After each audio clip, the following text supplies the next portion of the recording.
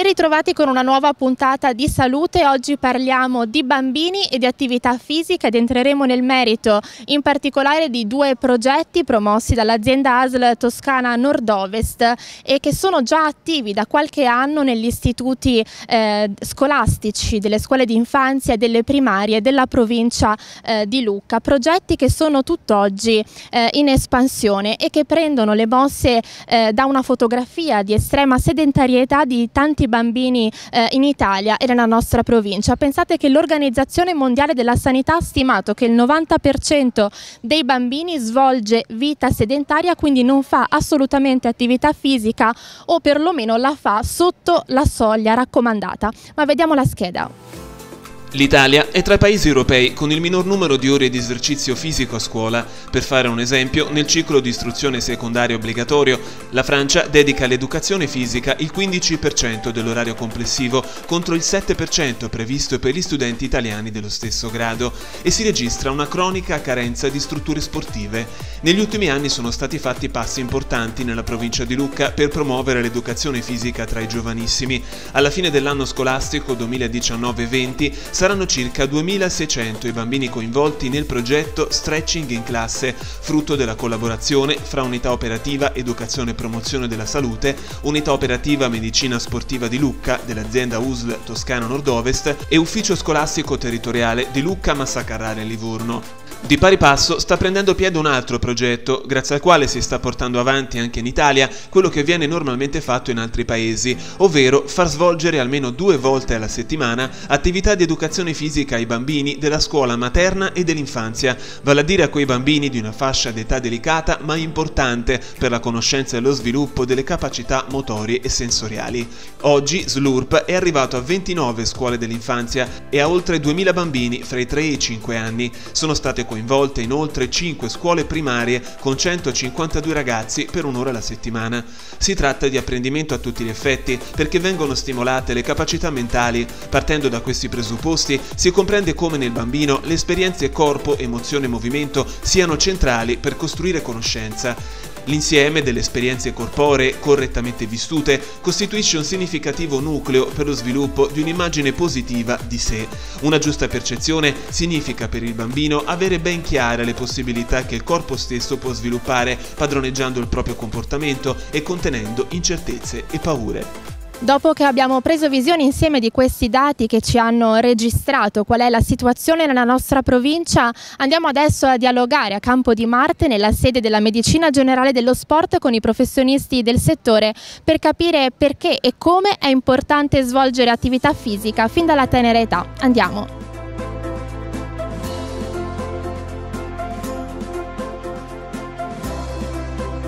Siamo con Margherita Brunetti, direttrice dell'educazione e promozione alla salute Area Centro, un progetto questo che è iniziato da diversi anni, attivo in diverse scuole primarie e dell'infanzia. Ecco, un progetto che parte dall'esercizio fisico ma che vuole andare ben oltre, quindi eh, toccare e sviluppare la crescita dei bambini. Assolutamente sì, questo è un progetto che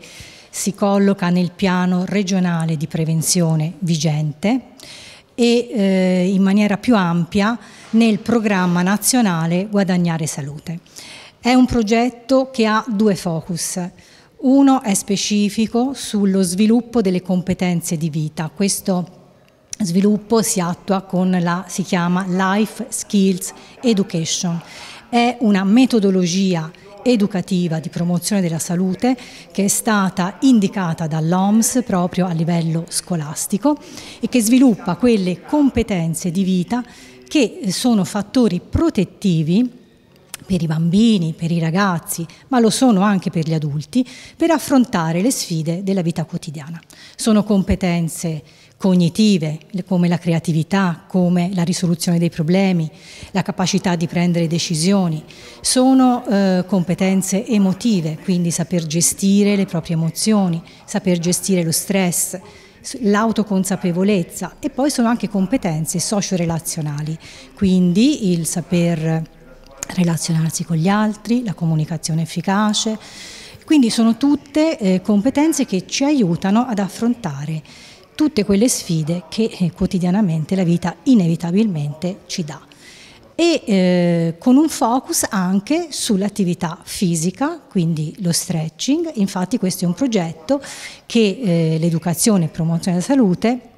attua in collaborazione con la medicina dello sport e quindi con i colleghi di Lucca della medicina dello sport. Eh, inoltre ehm, questo progetto eh, e negli ultimi, diciamo in questo ultimo anno, si è ancora arricchito con ulteriori esercizi di consapevolezza del corpo, del respiro, ma anche la consapevolezza delle nostre emozioni, di quello che proviamo. E questo lo potete anche notare nei disegni dei bambini dove in molti disegni i bambini scrivono io sento, io sento rabbia, io sento paura, io sento ansia. Eh, imparano i bambini a gestire, quindi a riconoscere, a gestire le proprie emozioni e questo è molto importante sia nei bambini ma ripeto anche negli adulti proprio per affrontare lo stress di tutti i giorni e per creare quello spazio tra eh, il nostro sentire e la situazione in cui noi possiamo rispondere invece che reagire. Noi tendiamo generalmente a vivere in un modo un po' automatico, questa è la verità. Pensiamo anche che l'uso dei social voglia dire avere tanti amici, ma è tutto mediato da una rete. Quindi i rapporti umani devono essere sviluppati in vivo, non a caso è un progetto che è nato negli ultimi anni, quindi eh, quanto influisce la società e l'importanza che i bambini acquisiscano eh, un tipo di emozionalità anche eh, più forte rispetto al passato. Sì, assolutamente sì. Eh, questo progetto si colloca infatti anche in una, eh, in una recente eh, delibera della Regione Toscana, la 742, che recepisce l'accordo Stato-Regioni con indirizzi di policy che vede il Ministero della Salute unito al Ministero dell'Istruzione proprio con l'indicazione di una progettualità che promuove salute chiamata sistemica, cioè si va a lavorare non solo sulle abilità dei bambini e su queste capacità necessarie socializzanti, ma si va anche a lavorare sull'ambiente, che deve essere un ambiente che offre salute, quindi a livello organizzativo la scuola offre, per esempio in questo caso, la possibilità di fare questi esercizi in classe e poi c'è anche l'offerta di ambienti salutari che possono promuovere sani stili di vita. Ecco perché non si parla più di tematiche. Questo accordo di policy lo dice molto chiaramente. La salute non è una tematica, la salute è una risorsa della vita quotidiana e qui riprende proprio le indicazioni della Carta di Ottawa, la carta eh, sottoscritta dall'OMS nel 1986 che dice proprio questo, la salute è una risorsa della vita quotidiana che consente di mettere in atto i propri progetti di vita e sulla base di questo la progettualità è a tutto tondo, cioè è una progettualità che va a lavorare sulle nostre abilità, sull'ambiente e col focus in questo caso dell'attività fisica.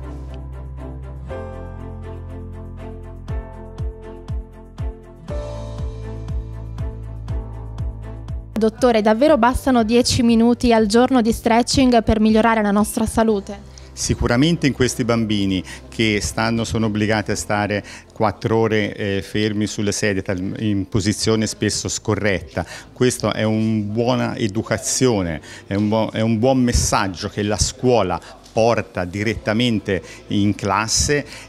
durante eh, le attività ordinarie per far capire al ragazzo quanto è importante fare questo tipo di esercizi, quanto è importante prendere conoscenza del proprio corpo, quanto è importante anche eh, attraverso questo tipo di esercizi migliorare la propria mobilità articolare, la propria elasticità muscolare. Sicuramente se tutti noi si facesse al mattino o durante la giornata 10 minuti di stretching, dopo un mese saremmo veramente in grado di, di, di apprezzare i reali benefici. Sembrano pochi 10 minuti, ma fatti fatti regolarmente, tutti i giorni, soprattutto in questa fascia di età in cui vengono proposti la scuola primaria, è un messaggio e un'educazione molto importante che portiamo avanti e che il bambino sarà in grado poi anche di trasmettere quando arriva a casa ai propri genitori e ai propri compagni. Ecco, spesso quando pensiamo allo stretching ci viene in mente la fase conclusiva, ad esempio, di un'ora di ginnastica aerobica, quindi la fase di recupero, eh, più delle volte anche percepita come noiosa. Ecco, questo tipo di stretching che viene praticato invece tra i bambini, che tipo di esercizio è? No, questo si rifà allo stretching statico di Bob Anderson che si riprende in tutte posizioni provenienti dallo yoga e che eh, praticamente permette all'individuo di migliorare, come ho detto, la propria propria mobilità articolare, di, la propria elasticità muscolare, ma soprattutto permette al bambino di prendere conoscenza dei propri distretti corporei. Quindi non è un'attività noiosa, il fatto eh, che viene presa anche apprezzata dai bambini lo dimostra per esempio quella mostra di disegni che è stata eh, allestita stamattina dove i bambini che hanno fatto questo, questa esperienza negli anni passati a fine anno ognuno ha portato un disegno per illustrare quanto gli era piaciuto piaciuto e basta leggere i commenti per capire con quanto entusiasmo è stato fatto. No, può apparire noiosa magari eh, per lo sportivo quando è visto come un momento per, eh, di defaticamento, un momento di prevenzione di infortuni, a parte che anche nello sportivo è fondamentale appunto per la prevenzione degli infortuni e per migliorare anche la mobilità articolare e l'elasticità muscolare. Comunque l'aspetto, anzi per il bambino che è costretto a stare 5 ore, 4-5 ore seduto, questo momento viene preso come un momento di svago. I bambini in Italia fanno, nella nostra provincia, fanno vita sedentaria come gli adulti, come spesso fanno anche gli adulti. No, i bambini ne fanno più vita sedentaria perché il bambino è costretto a stare 5, giorni, 5 ore scusa, a, a, scuola, tanti fanno eh, scuola anche pomeridiana, poi chi non pratica un'attività sportiva, e non sono tanti i bambini che praticano attività sportiva, nel pomeriggio spesso videogiochi, eh, televisione, quindi il bambino ha ha ancora più bisogno di un adulto di fare attività sportiva, anche perché poi determinate eh, qualità motorie o si, a, a, mh, o si, affinano o si apprezzano in questo periodo oppure no, durante, è più difficile acquisirle poi in età avanzata. Quindi eh, per i bambini è indispensabile eh, farla, è indispensabile ci sia un messaggio da parte dell'ASL, ma soprattutto anche della scuola, nello stimolare questo tipo di attività. Con 10 minuti di giorno di stretching non vuol dire che noi facciamo fare attività fisica ai ragazzi, ma portiamo un messaggio a questi bambini, intanto che prendono consapevolezza del proprio corpo, prendono consapevolezza delle proprie eh, necessità, che imparino a eseguire questo tipo di esercizi e poi quando vanno a casa che siano pronti anche ad affrontare un'attività sportiva regolare regolare.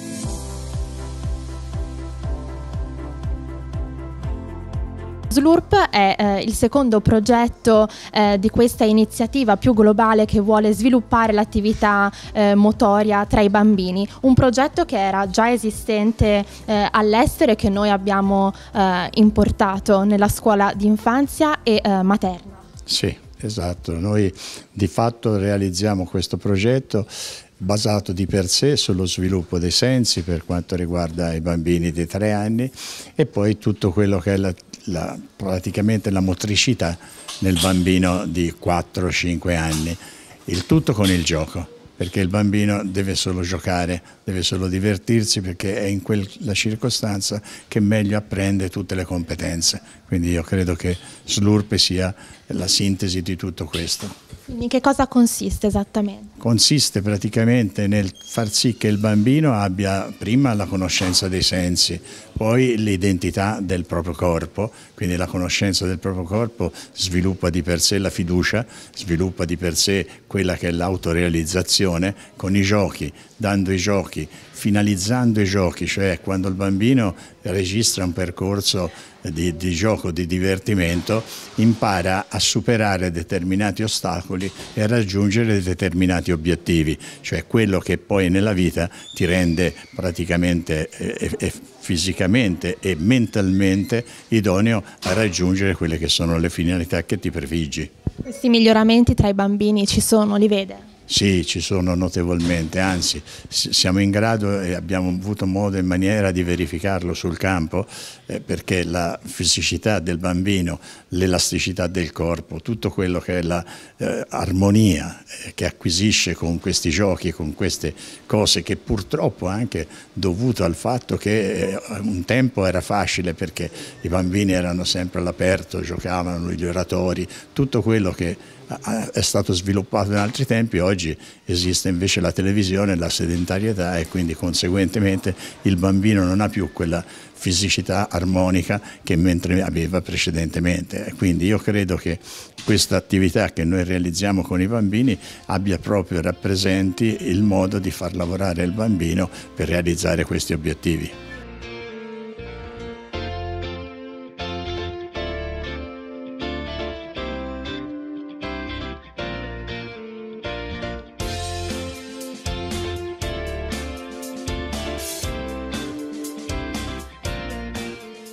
È sviluppato questo progetto da quando è nato e che diffusione ha avuto nelle scuole della Lucchesi? Allora, ha avuto una larga diffusione, ormai siamo al quarto anno praticamente che stiamo portando avanti queste attività in collaborazione con l'ASL, la medicina sportiva, naturalmente il Panatron e tante altre associazioni, tanti altri service che hanno concentrato i loro interventi proprio sull'attività sportiva. L'URP è un progetto che da questo punto di vista cerca proprio di cogliere, di mettere insieme tante risorse, tante professionalità abbiamo migliaia di bambini ormai che stanno facendo attività sportiva all'interno dei propri spazi, delle proprie scuole, delle proprie, delle proprie aule. Quindi ben vengano le strutture, ma si può fare attività sportiva anche con, con, con l'ambiente che ci circonda. Un'iniziativa che vuole partire dalla cura di sé, che ha tutt'altro significato rispetto eh, diciamo, alla società dell'apparenza attuale. Beh, la cura di sé è importante perché nel momento in cui io sto bene con me stesso, inevitabilmente sto bene anche con gli altri. Se,